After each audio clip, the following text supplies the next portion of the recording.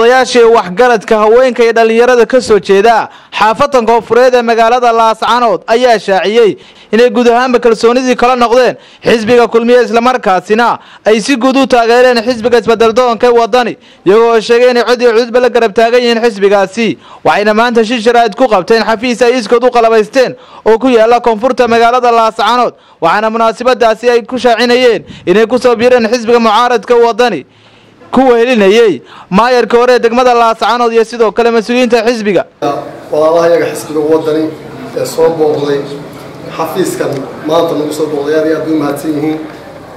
Waxaan maanta halkan ka caddaynaynaa dadka reer sool inay u soo jeesteen danahooda taageersan yihiinna xisbiga cadaaladda iyo horumarka ee wadani ayna ka faraxalanayaan oo ka jeesteen xisbiga kulmiye ee siyaasadiisu ay haddeer dhanqalanka tahay. Waxaa weeye annagu waxaanu nahay haddaanu nahay dhalinyarada ku dhaqan xaafadda koonfureed waxaanu nahay dad wadaniya wadaniyaysan taageersan xisbigana soo dhoweynaya. Waxaanu la dagaalamanaa oo aanu ka hor imaananaa xisbiga kulmiya ee talada haya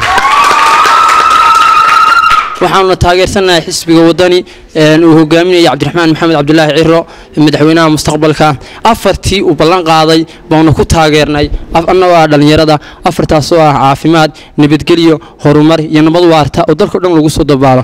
Waana taageersannahay dhammaan xisbiga wadani waana garab taagana waanu ridaynaa. Haddii aanu nahay gobolka sool waxaanu codaynaynaa ama aanu doonaynaa waxa weeya waa wadani waayo waxaa weli naga sii muuqda raadadkii iyo dhibaatadii iyo duulaankii iyo isku iyo siyaasadii foosha xumeed ee qaawaleyd ninkii la odhan jiray kulmiye dadka kale waxa weeya wadani ah ilaahayna waxaan ka rajeynaynaa in wadanina uu nooga dhigo mid naga maydha qaradii kulmiye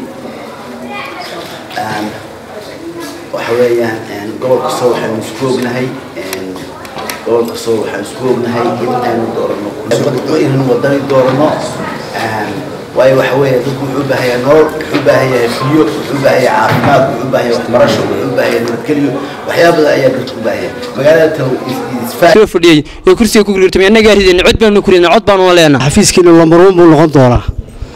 Xafiiska ugu horreeya koowaad buu noqon doonaa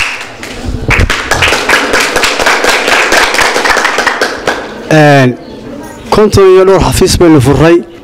Xafiis waliba waa shaqaynayaa. Waxaa weeye saakana kii ugu weynaaye carfi ay ka karaysay kulmiyinu hadda ka soo tirtirray wixii kulmiya ku qoray. Maanta waddani baa ku qoran. Saakanu ka soo baabiinna. Markaa weeye dadkuna waynu ogol yahay. Nimankii dad ma soo jiidan karaan dhaqankooda waa loog yahay maamulkooda wayna soo maray. Innaga waxaa inoo ballan inaan gamcaha is haysanno. Dhammaantood waa u horumaryananaa shaqada adag ay hayaan markastana waa looga baahan yahay. Insha allah abaabulaa ka socda guddiyaa ka socda. Howlwadeenno badan baa shaqaynaya. Haddaynu nahay shacabka gobolka sool meel kastoo aynu joogno saddexiyo tobanka nofembar inaynu codka ugu ridno cabdiraxmaan ciro waxaa inoo ballana codkeennu inuu wadan yahay inaynu isku duubnaanno inaynu ololaha iyo kambeynka u diyaargarowno. Dad reer wadaniya baynu nahay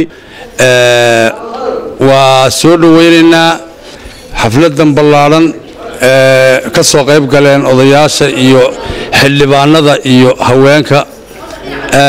Aad iyo aad baan u mahadsantihiin insha allah waxaynu doonaynaa xaafadaha magaalada in laan walba xaafad walba in ugu yaraanay xafiis ama laba yeelato.